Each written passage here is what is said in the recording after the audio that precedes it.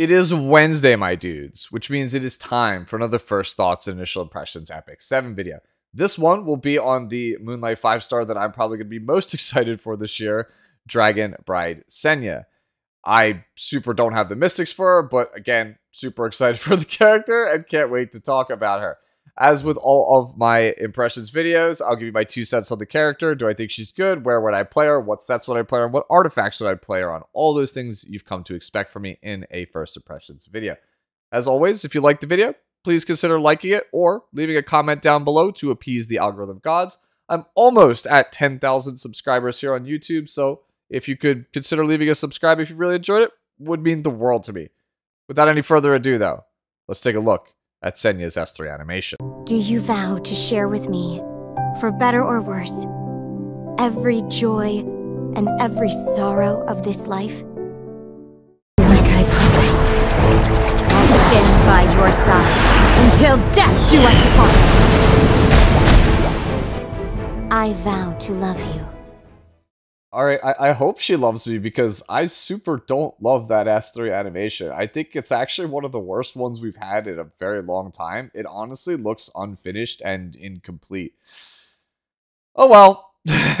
Anyways, in the English dub of Epic 7, Senya as well as Dragon Bride Senya is voiced by Reba Burr, who is a name that should be familiar to you because we literally just talked about her because she's the voice of Sea Phantom Politis. Also, can we talk about this artwork? Like, I don't know what's going on here, but like, is this like the ship that I I didn't know I wanted in this game? Anyways, Dragon Bride Senya is a light knight of the Sagittarius zodiac symbol, so she shares a stat line with Yulha, Fallen Cecilia, Ambitious Tywin, and the collab hero Albedo. Taking a look at her stats, she has 894 attack, 694 defense, 6,840 health, 104 speed, 15% critical hit chance, 150% critical hit damage, and no starting effectiveness or effect resistance. This translates to really high health and defense for either a tank or a bruiser, which you would love to see, but overall just below average speed. Her imprint is going to be health percentage for the team and health percentage for herself, which is fine, not the best, but not the worst. And considering if you are a Senya enthusiast already, you probably have a ton of dupes of her because, well, the character needed a plus 30 Spear of the New Dawn to be played anyway, which meant that you probably, like me, rolled on all of her banners like crazy whenever possible. Before we talk about the character, as always, let's go over the kit. First, starting with Senya's S2 passive, Bride's Resolve. Increases Senya's maximum health by 10%.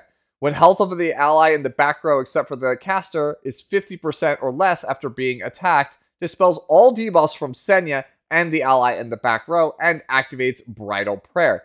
Can only be activated once every 4 turns. Bridal Prayer is a non attack skill that grants a barrier to Senya and an ally in the back row for two turns, as well as grants Oath of Punishment to Senya for two turns before resetting skill cooldowns of Senya. Barrier Strength increases proportional to Senya's max health. Oath of Punishment is an undispellable buff that says they cannot be affected by any debuffs or some harmful effects. After attacking on the bearer's turn, deals 2500 fixed damage to the target. I feel like I've seen this passive before. Bride's Resolve? Maid's Pride? Hmm, seems similar. Moving on to Senya's skill 3, it is Overcoming Hardship. You acquire 3 souls upon use, and it has a 4 to 5 turn cooldown depending on Molagora. Pierces through to attack the enemy and increase the combat readiness of Senya and the ally in the back row by 30%. Penetrates the target's defense but cannot trigger a critical hit. Damage dealt increases proportional to Senya's max health. When Senya is granted Oath of Punishment, attacks all enemies instead. Soulburn effect for the cost of 10 souls increases the damage dealt. And finally, the skill 1, one step, approaches and attacks the enemy with a spear and increases the speed of Senya for one turn. Damage dealt increased proportional to Senya's max health. Alright, now that we know the kit, let's talk about the character. Starting with the S2 passive, Bride's Resolve. I think this passive is incredible. First off, 10% max health means we can very easily bring Senya into the 35,000 plus HP territory. In fact, in the video, I believe she has 37,000 health. This character is going to be exceedingly difficult to kill, I feel like, for a lot of players.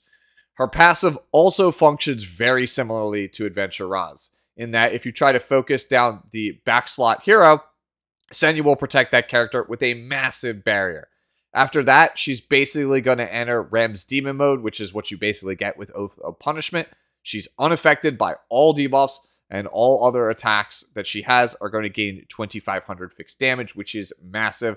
Unfortunately, it is only on her turn that she gets a 2500 fixed damage, so counter set is probably out for this character as a result, and Elbris Ritual Sword is probably also out as far as uh, artifact options go. But let's go back to that 2500 fixed damage. That thing is pretty massive, especially when you combine it with the skill 3 Overcoming Hardship. That skill being AoE and having 100% defense penetration means that if your opponent is on something that's very fragile, like say Cleave, they must focus Senya or they risk dying outright. And if you have another must focus unit in the back of her composition, then your opponent is in for a very, very bad time. So, what do I mean by this? So what if you have Ikarina in the back who punishes your opponent if anyone else on her team goes under 50%? Right? Well, if you have Senya in the front, she punishes your opponent if anyone in the back slot goes under 50%. So the common way to counterplay Karina is to focus her down. Otherwise, they, they you know, the enemy cleave risks just outright dying. Well, Senya says if you focus down Karina, they are in trouble anyway. So it doesn't really matter. Now, there are other characters as well that you could put in the slot that are very, very powerful. Genoa can solo basically entire teams by himself unless you get him off the board right away.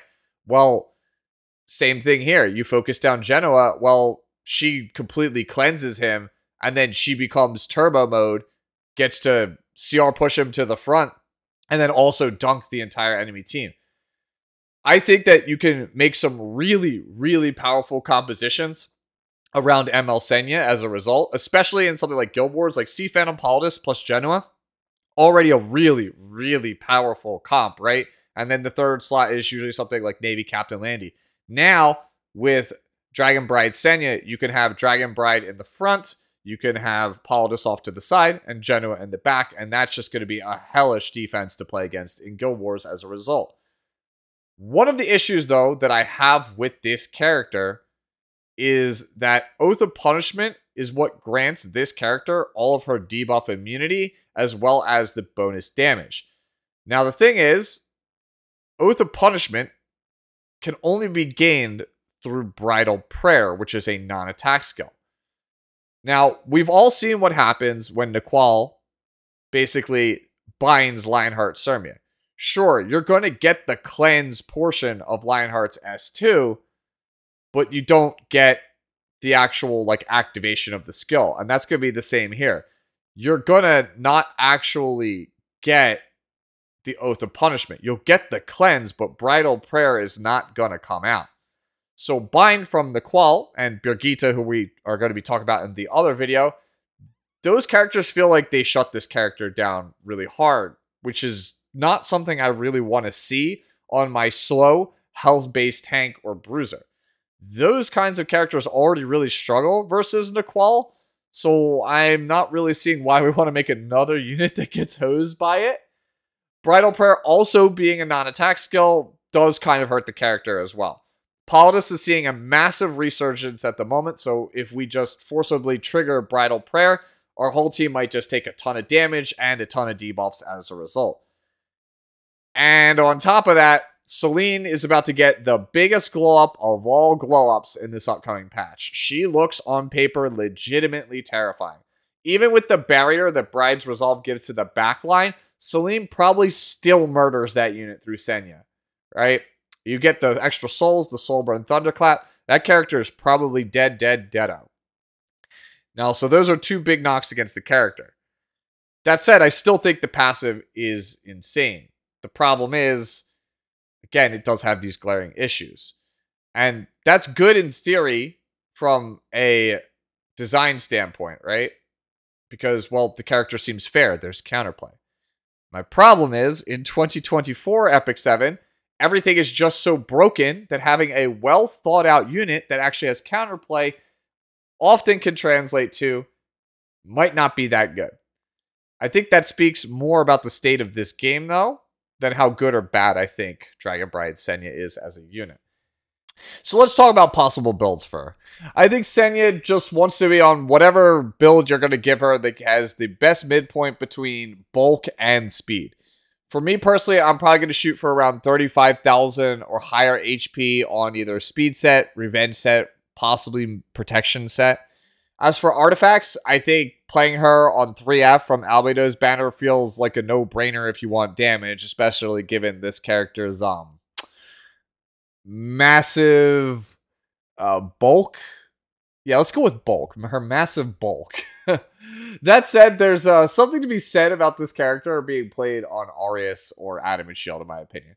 Last Rider Krau was not a good Aureus holder, but people still played him on Aureus because it was just a generically strong artifact that a high health hero could hold. Senya is a far sturdier character than almost anyone in Epic 7. It's basically her, Albedo, Eaton, possibly Crimson Armin. They're like the four tankiest characters in the whole game. That in of itself means that she is really good at taking up the shield, so to speak, like holding the Aureus if I need her to. I think overall, this character to me is a must pull Moonlight 5 star if you are somebody who plays standard or turn 2. If you're one of my turn 2 brothers and sisters, I think that we need to pull for Dragon uh, Bride Senya, which is kind of bad for me because I have like two multis and I'm literally full pity away. So doesn't look good for me. But yeah, she gives us setups that we could use to box out aggressive and cleave style strategies. She's great with characters like Karina, Genoa. She's good at protecting heroes like Laia. She might be great with the new updated Blood Moon Haste. The problem that I have with her is that while I think she's really strong, she's nowhere near as broken as Sea Phantom Politis is. And with the changes to World Arena that are coming in this very same patch, I just think she's a strong, fair character in a sea of potentially broken bullshit that might be coming our way in this game. Now, what do I mean by that? For those of you guys who didn't look at the patch notes from this morning, the next World Arena season will make it so that the third pick for both players cannot be post banned. Essentially, whatever character you lock in at pick three, your opponent has to give it to you. And that applies to your opponent as well. Whatever they pick, you have to play against. So, as great as I think Senya is, she's not anything if my opponent has an unbannable Nahkwol. If my opponent has an unbannable Green Celine, that thing could probably rip through the barrier that Senya provides fairly easily and get to the character like no questions asked. And I dread playing against uh, a Fumyr or Prince Sid cleave where I can't ban the Fumyr or Prince Sid, right? It doesn't exactly seem fair. Like, I'm just going to get locked out of the game. Now, I am happy still for the character because we as slow players got a really powerful, in my opinion, new toy. I think that this is a very powerful character, but she just feels fair compared to what I see speed and cleave players seemingly always getting access to, especially in the face of this unbannable third pick. But who knows? Maybe I'm just downplaying the character like I did with Abyssal Yufine. Let me know in the comments below what you think of Dragon Bride Senya and how you'll probably build her. Anyways, don't forget to check out the impressions for Birgitta, which also went live at the same time as this video. And as always, enjoy the rest of your day, the rest of your week, and I'll catch you in the next one. Bye bye now.